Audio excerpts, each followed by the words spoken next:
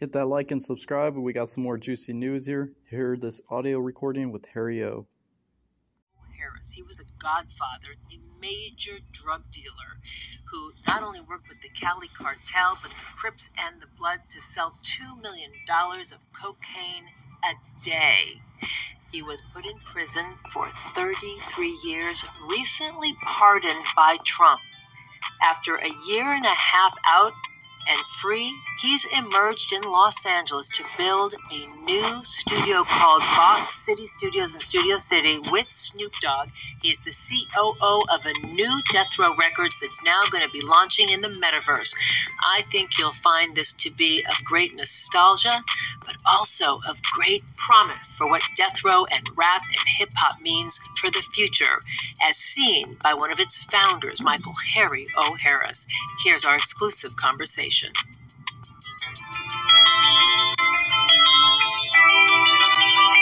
Michael Harry O. Harris, thank you for inviting us into your studios. They're beautiful and sharing your life story with us. It's my honor. I've been watching your work for years. It's just, you do people so much justice. You know, it's just to have an opportunity to be able to speak with you is a truly an honor. Well, it's an honor to speak with you. I mean, you You've been busy. You were behind bars for 33 years, Lompoc, San Quentin, some of the toughest, highest security prisons in the country, in the world. Yes. And you've just been out a year and a half, not even, and you've built all this. Uh, you've just hit the ground running, haven't you? Yeah, I had a lot to make up for.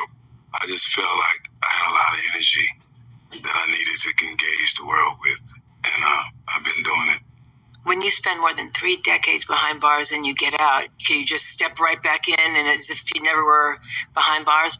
When you're in a situation like I was in for 33 years, it starts there. How do you how do you deal with that journey?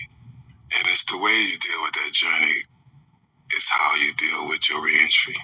While you're in, you have to do things that not only preserve you health wise, but mentally so that when that blessed day come and you are released after you've done your time, you're able to engage the present world as it is. If you're prepared for that, then I believe it's an transition. Did you feel free like right away, or did it take you a minute?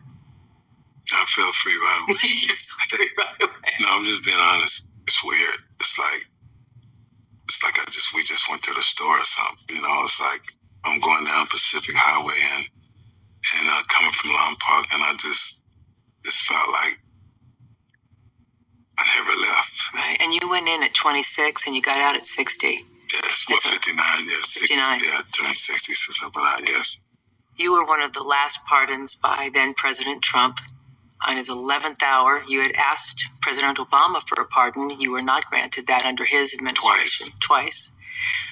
When you heard that in the literally the last hour of his presidency, getting on that chopper, leaving the White House, that you were among those names. What went through your mind? It was a powerful moment. I will be forever grateful for Donald Trump for pardoning me because I wouldn't be able to do what I'm doing. I wouldn't be able to be present with my family and uh, to be able to engage the business world and, and to be able to finish something that I started when I was young on the positive tip. And I know people feel certain ways about our previous president for different reasons. Do you feel loyalty toward him? I do. I do. I, I think that he did something that he didn't have to do. In pardoning you. But when his critics say he did something good for me, but maybe not for my community, well, how well, do you reconcile that? Well, well, I think that needs to be fixed. of course. I think that he has done some things to help the black community, though. Like the First Step Act helped so many families reunite with their family members. That was something that he passed. And I know that his son-in-law, Jared Kushner, and his daughter, Ivanka, was really, really uh, the engine behind it. But they had his support to do it. Alice Johnson, who uh, has also came out under Donald Trump, and she fought tooth and nail. My understanding is once Donald understood who I became over the years and the work that I had done, he says, Are you kidding me? You're gonna leave this guy in prison who created a company while he was in prison and using that against him